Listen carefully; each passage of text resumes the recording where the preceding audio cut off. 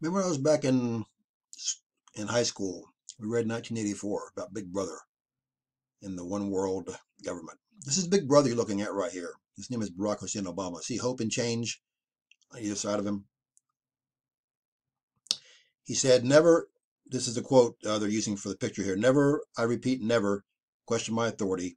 I will not allow the Constitution to stand in my way, and that's that's a fact. He might as well say those words every day because they're stone cold fact. So here's the latest. If you ever flown on a plane before, you know the nightmare that is the TSA. That all started on the false flag the U.S. caused 9/11. I've got a viral video did a few weeks ago on the anniversary of 9/11 that proves with zero doubt, no question at all, zero zero zero doubt that 9/11 was an inside job by the U.S. or false flag, and it was done to bring FEMA on board, get the FEMA camps ready, get all of the, our rights stripped away. And if you've been in an airport, you know you have no rights in there at all. They treat you like cattle. And this is the latest and greatest idea from the future Antichrist, Barack Hussein Obama.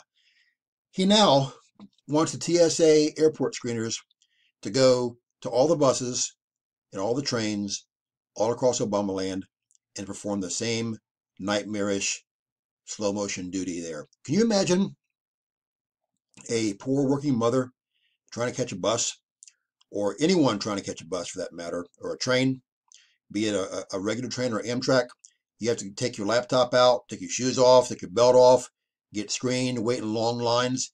You well get ready for a four or five hour wait to even get on that bus or train. Our rights are being stripped away, they're being eroded, being taken away.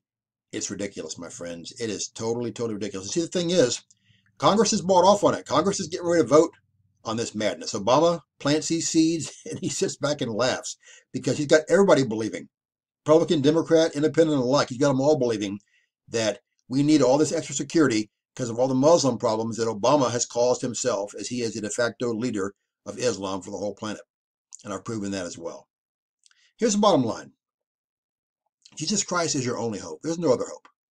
If you've never been saved or you're backslidden, I've got a prayer and six vital next steps in the box below the video. Pray that prayer. Do those steps as soon as possible because no one's guaranteed you the next day, hour, minute, or second of your life. America is done. The world is done.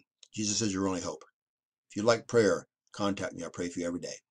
Christians, your job is to witness and pray for the lost daily. If you're not doing it, do it now. And if you are great, and look up, our different draweth nigh. We fly soon. You guys take care of yourselves and please wake up and share the word. Get it out there. Let's be ready because time is truly short. It's almost over. Bye.